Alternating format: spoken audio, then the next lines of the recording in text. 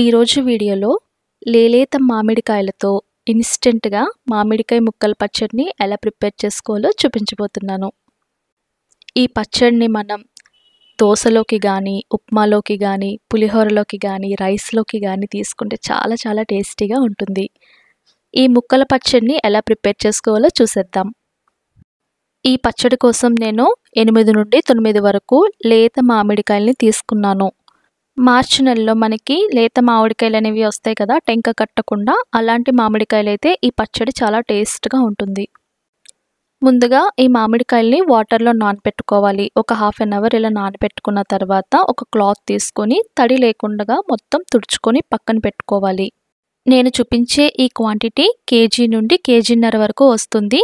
అలానే ఇన్స్టెంట్ పచ్చడి కాబట్టి దీన్ని మనం ఫ్రిడ్జ్లో స్టోర్ చేసుకున్నట్లయితే త్రీ టు ఫోర్ మంత్స్ వరకు వస్తుంది. ఈ పచ్చడిని మనం లేత మామిడికాయలతో పెడుతున్నాం కాబట్టి బయట ఉంచినట్లయితే బూజు పట్టే ఛాన్సెస్ ఎక్కువగా ఉంటాయి. అందువల్ల మనం ఫ్రిడ్జ్లో పెట్టుకున్నట్లయితే ఎక్కువ రోజులు మనకి నిల్వ ఉంటుంది. మామిడికాయల్ని తుడుచుకొని పక్కన పెట్టుకోవాలి. ఈ లోపు మనం ఒక పాన్ పెట్టుకొని ఒక టేబుల్ స్పూన్ మెంతుల్ని వేసుకొని వేయించుకోవాలి.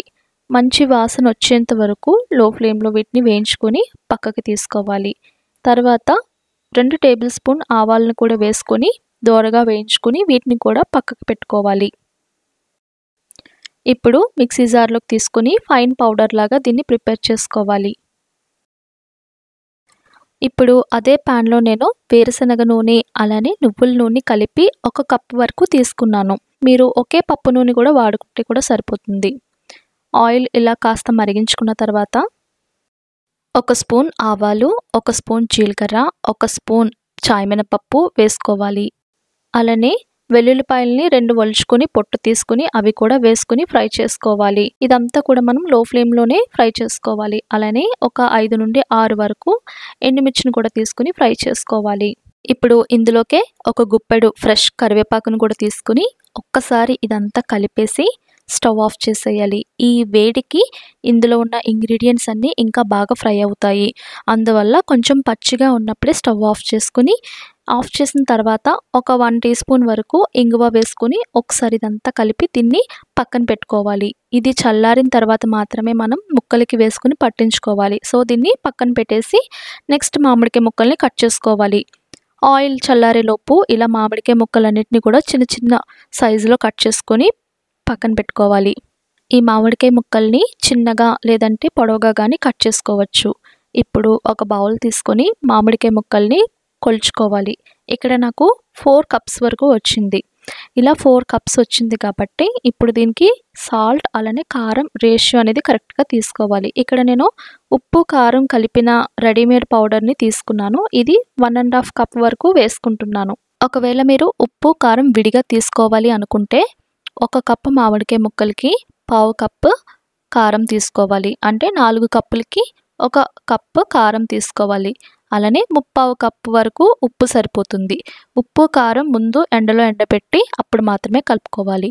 ఇప్పుడు మనం ఆవాలు మెంతిపిండి మిక్సీ చేసి పెట్టుకున్నాం కదా ఆ పౌడర్ని కూడా యాడ్ చేసుకోవాలి.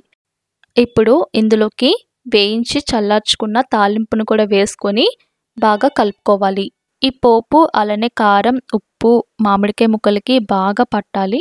బాగా ప్రాపర్గా కలుపుకొని దీన్ని పక్కన పెట్టుకోవాలి. ఇలా మూడు రోజుల వరకు దీన్ని పక్కన పెట్టేసేయాలి. మూడో రోజున పచ్చడి అనేది మనకి బాగా మగ్గి ఆయిల్ అనేది బయటికి రిలీజ్ అవుతుంది. ఫస్ట్ రోజు మనకి ఆయిల్ కనిపించదు. మూడో రోజుకి ఇలా మొత్తం అంతా ఆయిల్ అనేది బయటికి వస్తుంది. ఒకవేళ ఏవైనా తగ్గినట్లు అనిపిస్తే గనక మూడో రోజున ఒకసారి కలుపుకొని అడ్జస్ట్ చేసుకోవచ్చు. ఆయిల్ తక్కువైనా కారం తక్కువైనా ఉప్పు తక్కువైనా ఏదైనా కొద్దిగా యాడ్ చేసుకోవచ్చు. నేను చూపించిన మెజర్మెంట్స్ ప్రకారం చేసినట్లయితే ఉప్పు కారం ఆయిల్ అన్నీ కూడా సరిపోయాయి. నేనైతే ఏమీ అడిషనల్గా యాడ్ చేయలేదు.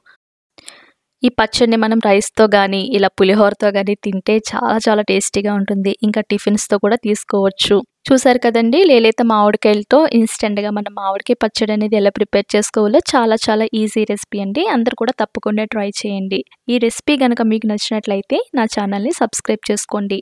పక్కనే ఉన్న బెల్ ఐకాన్ని ప్రెస్ చేయండి. Thanks for watching.